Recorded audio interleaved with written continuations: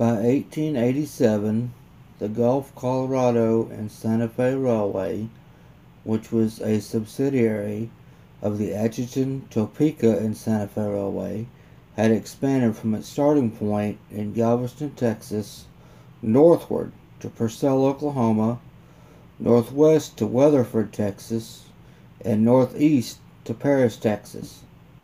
The railroad decided that the more centralized city of Cleburne would be a good location to put a new heavy repair shop to replace the smaller one at Galveston, Texas.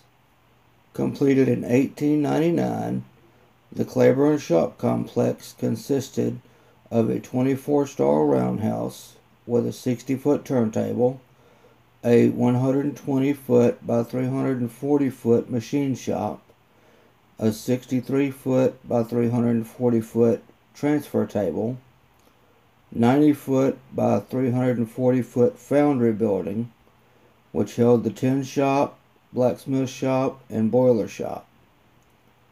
A 90 by 120 foot coach repair shop and a 80 by 300 foot freight car repair shop.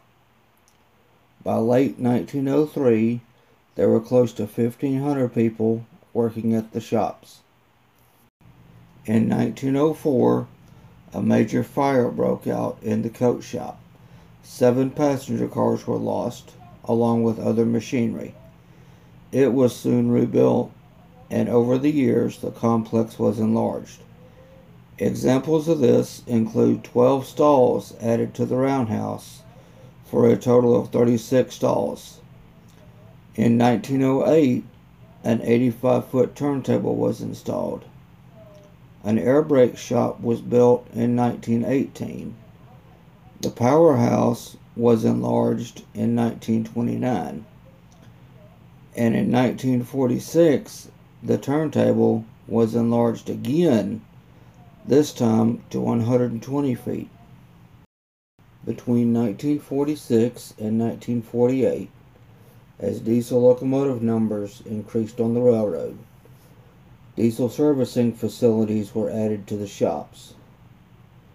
In the 1950s, the Santa Fe was decided to downgrade the Albuquerque locomotive shop and split the diesel repair work between Cleburne and San Bernardino, California.